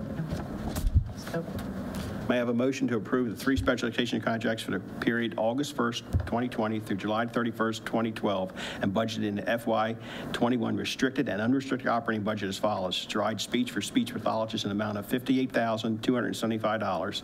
Chesapeake Speech for speech therapy services in the amount of $155,400. And Wendy Carpenter for occupation therapy services in the amount of $95,000. You have to vote to say yes or no. Discussion? All finished? All those in favor? Aye. Aye. Ayes have it. Thank you. Thank you, Ms. Jolene. Okay. The next thing is discussion update on opening of schools. So I think we've addressed a, a, a a few of the comments here, but um, one of the things that we really pay close attention to are the metrics, um, which are, which come out each day. And um, I just kind of, just because I'm a visual person, I just kind of keep a record, record of them over the days. And um, the, the first one that we pay attention to is the seven-day um, positivity rate, which is 9.7. Um, And it's fluctuated. Monday it was 9.7, Tuesday 9.0, Wednesday 9.7. But the seven-day case per, uh, case rate per 100,000 is up to 36.3, which is the highest, I do believe, that it's um, ever been. Um, And the metrics that we follow are usually 5% for the seven-day case, um, or seven-day positivity rate, and then 15 for the seven-day case rate. We did uh, receive core, uh, communication today from um, uh, the uh, board meeting and um, Dr. Chan, who is out of Baltimore with the um, health um, officials. And it's saying that we don't have to follow it as closely as it is um, written. And I know that when we closed back to virtual, we were over our metrics um, at that particular point because we kind of held off as long as we possibly could. Like we were up to like, I hate to say it, but we were up to about like 18 and 19 seven-day case rate. Um, But the positivity rate was, was a little bit um, above the five. So um, that's pretty much what we use, I have conversations with Dr. Ciotola um, at the Health Department, and we kind of talk about, um, you know, what's safe and what's not. And um, Right now, we're just looking at metrics. We're also looking at the number of staff cases. Um, Student cases are a little bit harder for us to, to keep track of because parents don't always report it, especially since children are not in school at this particular time. A lot of that is, um, you know, my kid's not in the building, I don't need to report it uh, to the system, and, and we have no way of knowing then um, what the student rates look like. But we have had um, some student cases, some positive cases in the school system, and some of those students have been in, um, like for specific services, may have been like a, you know, a speech service or something of that sort. And um, concerns with uh, that impacting our staff, um, the staff rate. So, um, like I said earlier, we were up to about, you know, 70, 70 cases, which is the highest that we've ever, ever been. Um, So that's what we're kind of using um, to decide or to make that decision for school. Um, There's not anyone in the system who doesn't want kids back, but we also want to make sure that everyone is safe and feels safe. Until the CARES Act uh, ends in, at the end of the month, um, we still are not staffed in, in every school. So that's um, still a real concern for us as well, too. Um, But what we'd like to do is to, to think about the first of the year is which groups we can bring back, like it could be our seniors, you know, it could be, um, you know, some of our, our younger students, who, not all seniors, but just some of them who, you know, have some, um, need some additional support. So that's something that we have to make the decision on, but again, it's based, it will be based on the metrics. So I need to continue uh, communication, or whoever's sitting in the seat needs to continue communication with Dr. Ciotola, um, because the health department could say, too high, that's it. Um, you know, we need to cease. So that's kind of where we are with the, with schools reopening. The meeting with the county commissioners yesterday, that was brought up, will we be bringing back the special education students as soon as possible? The CTE students, and we talked about the seniors. Um, Yes. Um, And when we first talked about the CTE students, they were still in pretty good standing. Um, we- would have to continue to look at their hours now, since we've been out, what, um, two, three weeks, I guess, um, since we last, since I last spoke with the, um, the CTE folks. And um, students, according to, many according to their IEPs, they are receiving, they're still receiving services, some services. So um, Ms. Smith and I met today to just talk about how we are continuing to support those students that, um, that don't learn well in the virtual world. So we have a plan um, for that as well. Okay, thank you. So, Ms. Pauls, the, the seven-day positivity rate, is that the county, based in the county or, or the state? Because you referred to Baltimore. County, it's the county data that, that I keep track of. I don't pay too much to, uh, you know, attention to the state Yeah. because it's usually a lot higher. But um, the data that I look at each, each day, it's broken out by county. So I always just look at Queen Anne's County, often surrounding counties too, to just kind of get an idea of where they are as well. Sure. And did Dr. Ciotola um, provide or recommend uh, positivity rate for the students? I mean, when, if we were to go vert, uh, hybrid or, you know, in person to person, um, is there a rate established where if there is positivity above that rate to shut down or? Well, it's the five and the 15. Right now, that's what they're adhering to, is the five and the 15. But the guidance that we're getting from the state is, um, you know, we can have some wiggle room with that. So that's something that um, we would have to have a conversation with him about what he would consider wiggle room. And um, he, he he pretty much follows the numbers um, Sure. a T. So, By comparison, the state's positivity rate is 7.7%, and the daily rate is 44.5. So our, our percentage rate is higher than theirs, but our case rate is slightly lower. And today, I know when I left work, there were 31 new positives on the list, just today. And we haven't been able to isolate it in any one part of the county because that would be an easy transition to say, you know, if it's Northern County or, you know, if it's on the island, we can bring those schools back first, but it's, it's scattered throughout the county. It really is. Do we isolate it by ages? Yeah, the data, the data is broken down by age, zero to nine, and then um, 10 to 19. And those cases have increased um, over the, over the, especially over the holiday. At first, they were, um, they were not alarming, but they have, they have increased, so. And I'm sure when the outbreak happens in one area or a family, then it's going to affect two or three at a time. It's not just, you know, and we're enclosed more now, so it's not helping any matters as far as the spread of it. Yeah, for outbreak, they look at like the, the, the key number is like five. And we thought we had one facility that was close to that, but not all the cases were positive. It has to be at least five um, positive cases. So, um, that, you know, that's another thing that we look at. And and at, to this, to this point, we haven't really closed our doors in any of our facilities, but um, we were, we were pretty close in one. Do we have anyone in the schools at all? Oh, yeah. Every, they're the school, if you, if you ride by the schools, many of them parking lots are, are full. Okay. Um, For teachers, it's easier to come in and use the internet, depending on where they live, in the school building than it is, um, you know, to use it at home. And they have, you know, all of the equipment that they need there. Uh, Happy to say that the, um, the Chromebooks for our primary students have been delivered, and schools have distributed them. I was at Centreville Elementary School one day this week, and they have distributed just about all of theirs. Actually, a parent was coming in to pick it up as, as we were speaking. Um, We're still waiting on the cameras, but we anticipate it should be this week that they should be in. And he said that would be something he could get online pretty quickly. I think he- Um, Well, it gives the, the teachers a little, a better advantage for, for seeing all their students as, as they're teaching, and it gives them more mobility in the classroom, so they can move around, have a little bit more um, latitude. So, um, yes, we do have folks in the building. Uh, Broadband width, are we still working on that, or any updates on that? I have not heard of any updates. I'll need to check with Josh to see if he's heard anything. I I I remember him telling me he had to go through the state and then Right. find out how it comes back down, and We're supposed to get a report to that either this week or next week. he is. Yes. Yeah. They're going to increase the bandwidth for the school system to two gigs through the state. We have to apply, have to apply for that. And uh, Mr. Coombs, who's had the tech specialist, had applied for it, and they've done, so hopefully the survey and ha- will let us know if we can get to two gigs.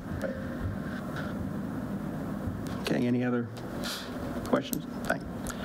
Thank Okay, information items. We have policies for first uh, read for public review, policy number 602, advanced placement programs and regulations 602-1, and policy 616, gifted and talent identification instructions, and regulations 16, 6 616-1.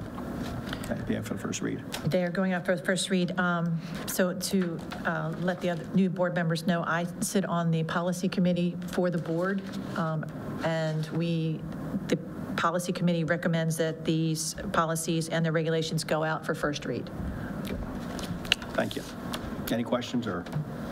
And that, and we, you know, we have a lot of policies we're reviewing and going over, so it's something that um, I think is a, Yeah, is a deep, meet- is a deep project, is a deep thing we have to go over and stuff like that. Yeah, we meet once a month, and we, we're, I think in the pipeline, we have, what, 15 that we're looking at? S- At least uh, 15 to 20 policies that we're going to be looking at and putting out, or, or even rescinding because they're outdated and obsolete. So So we'll be it's bringing that to the board members. And any input the board members has, should probably, the best thing is go through Tammy. uh, Any things like that, they, you can read them, look at them, go on our site, or, you know, get them pulled up for us. Right, so these are for a first read Yes. tonight, they're being We presented? did- We don't have to vote on them, they just go out. There's, Okay, Just like we just voted on the student attendance policy that had, had been gone out for a first and second read. So- Um, That went through the policy committee. On the distributed to section, how is it determined who we're sending this out to for comment? The stakeholders that are listed there, they're sent out to every one Right, but how do we determine, like, I'm looking at, one was sent out to Kent Island American Legion, and one to Centreville They send it to Legion. everybody. we send them out and- and not. To the- to the community. And very few times have they respond. Okay, just because there's also the Graysonville, I just didn't know how we picked and chose different stakeholders. Ms. Wright, do you send that out? No, I do not, uh, Does that go through Ms., uh, through Betsy upstairs, Ms. Hoffman? on the policy committee, I don't. Yeah, uh, it it goes through Ms. Hoffman. I mean, I can ask her why. And I would think anybody that wants to be on that list, that want to be involved, is better. So I think if anybody has, um, or would like to see that, certainly we could uh, get them in the loop. Do we get good responses back from, If they respond, we get them back, but a lot of times you'll see no response. okay, thanks. But we do have the two supervisors here who supervise those areas, uh, Ms. Bridget Passon and Ms. Amy Smith, and they can certainly entertain any questions that you might have. Yes, come on.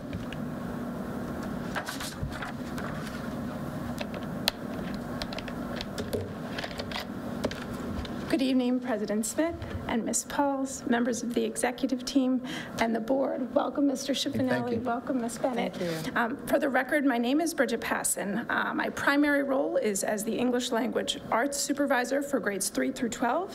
Um, But for the new board members, please know that uh, content supervisors wear a lot of hats, so I'm here tonight as a policy writer. And one of the policies I was assigned to write for this year is for the advanced placement programs. Um, This is a standard policy, however, we don't have one in place. So this is just, you're probably seeing it all in red on your screen, on your um, paper or on your screen, because everything in it is brand new to us. Um, So this just clarifies all that we're doing with our advanced placement programs in both high schools. Um, The policy committee has seen it, both principals and academic deans have seen it and offered input. Um, I know you've had a chance to look at it, so before it goes out for first read, if you have any questions or comments for me or think about, I'm happy to take them.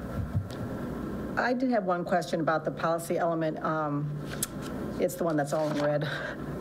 Is, it says that students who plan to pursue a bachelor's degree, particularly those who plan to enroll directly in a four-year institution of higher education, is there, I'm just curious as to how that wording came out, because it seems as if that would also be deemed appropriate for people who are entering a community college, um, or even a student who's pursuing, or is pursuing maybe a workforce uh, apprenticeship uh, Certainly carpenters need advanced math, certainly um, other trades might need advanced placement, so I was wondering how, about the wording, particularly for a four-year. No, I, I think that's an, that's an excellent point to bring up. I think that we do have a partnership with Equal Opportunity Schools, and we do encourage all students to take um, an advanced placement course, no matter what their track is. This language does seem to highlight, okay, if you're headed to a four-year school, take one, because the, um, the rigor of the course and the workload um, and the pace of it is really going to set you up for what a college course is going to be like.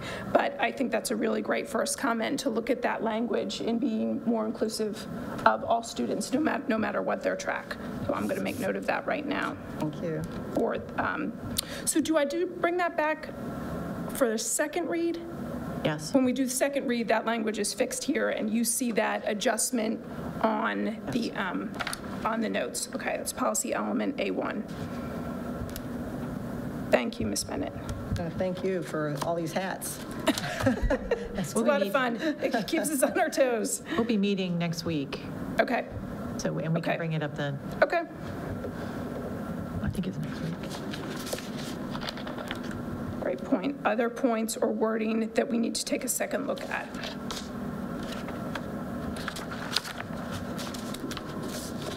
Any other? Not for me. Okay, Okay, thank you. all right, I will see you next month. Stay well. I know it, too. Top right here, thank you. Thank you, Ms. Passon. See you next week. Okay.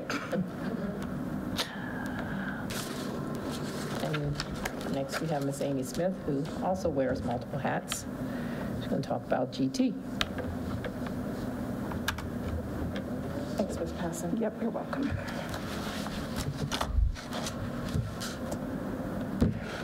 Good evening, President Smith, Ms. Pauls, board members, and executive staff. For the record, I'm Amy Smith, Supervisor of K-12 Mathematics and Gifted and Talented. So the policy and um, regulation you have before you is 616 regarding gifted and talented, identification, and their educational activities and plans. This is um, actually our common practice we have had, and at this point, we just did not have a formal, formal policy in place.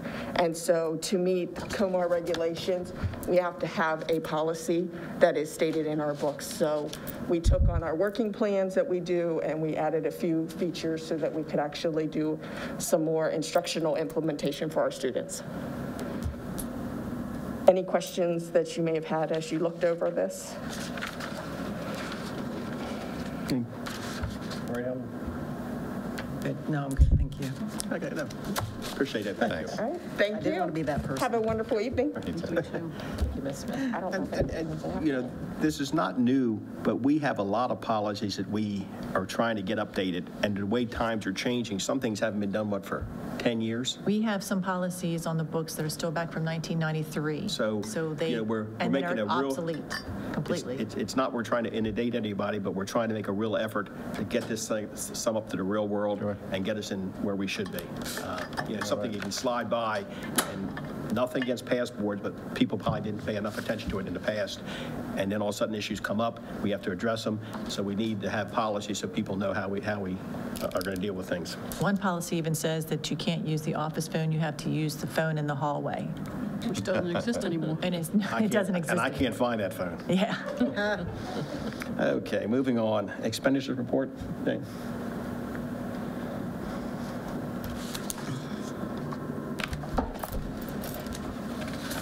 Good evening, Jane Tower, CFO. This evening, we bring before you the detailed expenditure report for period ending 11/30. One item of note is that this structure is set up by categories. Categories are mandated by MSDE, categories 1 through 15. Just to give you an idea, idea, category 1 is administration, so that's going to be the superintendent's office, it's going to be finance, HR. Mid-level is going to be your principals, school secretaries, and then the rest is pretty well detailed throughout. So on the second page, you'll notice that the approved operating budget for the year was 98283128 Available budget um, spent was, is going to be, I'm sorry, um, 8158, 81%. Is there any questions on the expenditure report? It's, I guess it's just an observation. Special education. I see, you know, some categories where, you know, 300, it's, it's, I mean, we, that's always been a big problem because, you know, one or two cases can, are we pretty well under control with that so far this year? Because I mean, I see movement, but then also, I do know between salaries and wages, a lot of, that- a lot of that comes down because we do contractual services. Exactly. You'll see a transfer um, notice of that in, in a couple minutes for salaries to contract wages for 375000 So, but that's balancing out as far as what we don't have on staff, we're contracting out because of our, our size. Yes. Okay. Are there any other questions or, okay? Well, Ms. Towers, do you mind if I ask a question about, because I'm, I'm assuming the contracts were for these special, the speech pathologist contracts you've done. So I guess I'm just thinking how they come up with the numbers, because if at $37 point, said 37.50 an hour is the max that they can get, at seven hours a day for three days a week, it's 21 hours. I think it came to not quite $800. And you multiply that times 4.2, because there's 4.2 weeks, and then you multiply it by 10, and it only came up to about a little more than half of the 58,000. So I'm just wondering how we get our numbers. Um, You also have to take into account fixed charges, and I think that was an hourly rate that was quoted, but then there could be FICA or that they are an additional cost. So maybe it's per hour, per hour at 37.50, but then their costs for their fixed charges too have to be included. So I think the hourly rate was provided, but the total cost, it's my understanding that it's, it's higher. But I can definitely check on that for you. Thanks, thank you. Yes, definitely. Sometimes they also put in their mileage, Yes. which is a hidden cost. If they're assigned to one school and going to another, Right, another school. right. Well, this was just the one school, so that's what, and so, uh, But they may get charged, they may have going to and from the site. Fortunately, on those invoices, it is breaking, it is broken down, and there is a process where it does go through um, the supervisor's office, and then it is actually to the finance office for final approval. So we will see the breakdown of each of them. thank you. Of course. Any other questions? Okay, moving on to transfers. Um, You have a question? Uh, If I could share one more item? Okay, I'm sorry. Okay. Um, I- We have the COVID grants we want to provide an update for. So uh, we have broadband. Broadband ends 12/30. This grant here, it's on page one, if you are on board docs. uh, the carryover budget was 708,000. Spent to date was 54,931. And in reaching out to Mr. Combs about this, this grant was very specific on how the funds were to be spent. They were to um, be spent on a total of possible of 2,400 hotspots. To date, they've only needed 500. So, in talking to Mr. Combs, this grant is so specific, and as other counties have struggled with the same thing, that they cannot, um, they don't have the need for all those hot spots. So their hopes is that when the grant period ends, they're going to take a look at um, the grant provider and possibly reissue another grant that we would, uh, and possibly be able to apply for. See, because that, as I remember, that, that didn't cover the monthly expense on the hotspots. We are having to take care of that. Right, after December 30th, you're absolutely right. Oh, no, even before, as I understood, we were, that the CARES, this CARES money wouldn't cover the monthly expense on those hotspots. The monthly expense, we were able to allocate to this CARES broadband? Oh, it did cover it? Yes, And then Josh got it down from $40 a month to 15, as I understand. Mm -hmm, and negotiated that, correct. But moving forward, we would have to assume that bill, Because the grant ends at 12:30, yes. and we can't use this money for it. And this is probably not right, but we can't prepay. Hmm. I, I- no, it's just November and December's, But- So we couldn't pay like three months of usage early It- correct. at that point. But we will have that, that extra money earmarked. We've received that money. We've received it, So we've got it earmarked, and then we can, we'll hold it, and hopefully it can be allocated, redone, and put into another grant. Uh, right. Hopefully. Yes, Mr. Combs is, is thinking that that's what they're going to do because a lot of the other counties have faced a similar situation. And it'd be, it'd be very smart if they did that, because why use it wastefully if you can use it for something that needs to be done, just to spend it because there's a, a deadline with everything going on? So the next one we have here is page two, and that is going to be your um, technology grant. This expires 12/30 as well. This is for specific hotspot communication. There's 22,000 left, so November and December bills for communication will be used for that allocation, and that will be zero. The next one on page three is going to be your ESSER. This one ends 9/30/22. As you can see, to date, the available balance is 175,305. And then on page five, we'll take a look at the CARES tutoring grant. This again ends 12/30. There's 17,129. Of that, 8,800 is going to be for math and PE kits for kids. And then there's an outstanding invoice of around 6,100 from from our summer recovery program. So that'll spend that out to zero. If we look at the next one, the Gears funds, this is also another 1230 grant. There's 5,242 left, of which 1,200 is for indirect costs, so we'll go ahead and allocate that. And then the data plan will have other um, charges that we can do for communication for that, so that will be spent out as well. So the Schoology training, the- the tutors, that was under a CARES tutors? Where, where, which one was that under? Not CARES ESSER. Uh, this- The CARES tutoring on page five has a Schoology in there. And that is through, Because, okay, so you have that in here under as contract services. Under 2,000? 224,000? Let's see.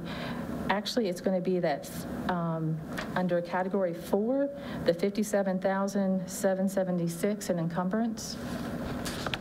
I'm still getting to learn them too, so, Okay. but that's That was where just spent this past month. it is um, encumbered, the bill has not been paid yet. The Gotcha. funds are encumbered.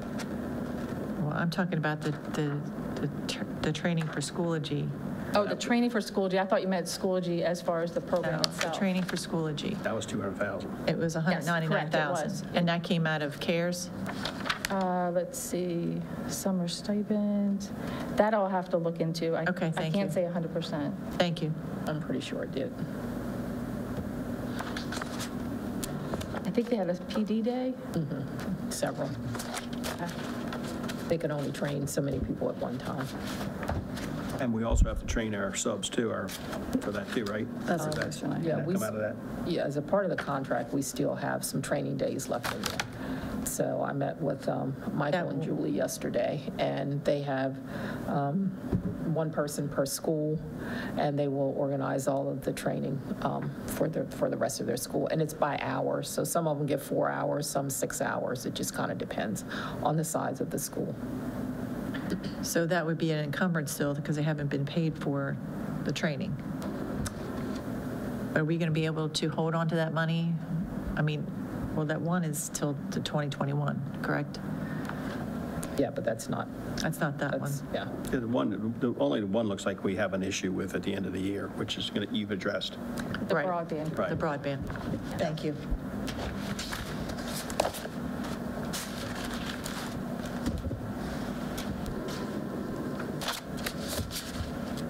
The next item I bring before you for informational purposes is under special ed category. It is actually reclassifying the salaries to contracted services for the speech occupational therapy um, for the um, positions that were brought tonight. So that's the total of 375,000.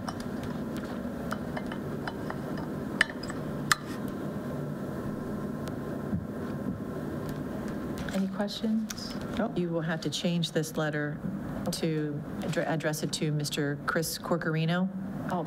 And then put Mr. Smith as the president at the bottom, if you don't mind. Uh, we- Well, she, they, No, well, because Mr. Corchiarino is now the president of the board, of Com- county commissioners. eh, Jim can do one last thing. You, so can you. Just please change it, thank you. Just because of the date. Yes, so sorry about that. No, Thank no, you. no, well, it just all happened. Okay. So we do, we need a No, vote to send this over, it's, it's just transferring it's transferring. okay, within major category. Thank you. Yes. Oh, thank you. for everything. Appreciate it. Okay, our next thing is, um, we've gone over the public comment situation we're in right now. Uh, Future school board meetings, will be meeting uh, next Wednesday, December the 16th, for our work session. And then our next regular meeting will be January the 6th, uh, up to 2021. Uh, That's all.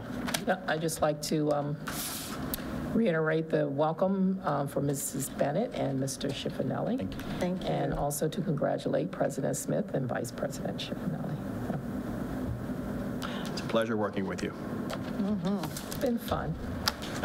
It will be fun. Okay, uh, do I have a motion to move into executive closed session, or to move back into? We just need a motion to reopen closed session. Open closed session. Okay, Mo- so moved. May I have a second? All those in favor? Aye. Okay. That's the end of our meeting for this evening. Thank you for all attending and watching.